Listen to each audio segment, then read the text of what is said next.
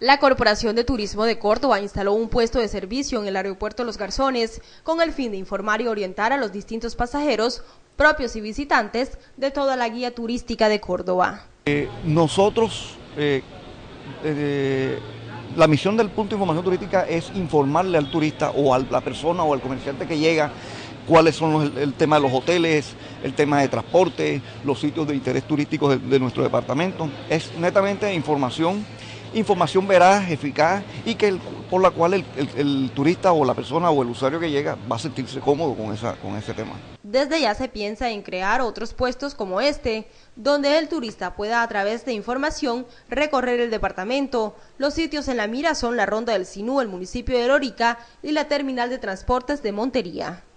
Tres proyectos, que es el tema de Lorica, punto de información turística en Lorica, un punto de información turística en la Ronda del Sinú, eh, y eh, estamos mirando, valorando el tema del terminal de transporte de Montería.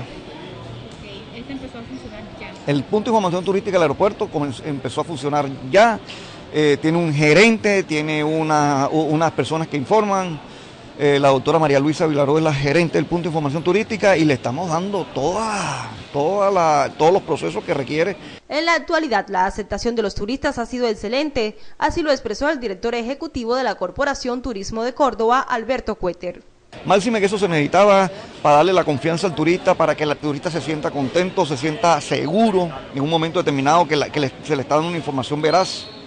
Y eso yo creo que es lo, que es como una puerta de entrada para esas personas que llegan y informarles bien, informarles verazmente, informarles y que y que lo que nosotros transmitamos a través del punto de información turística sea un beneficioso para el desarrollo económico de nuestra región.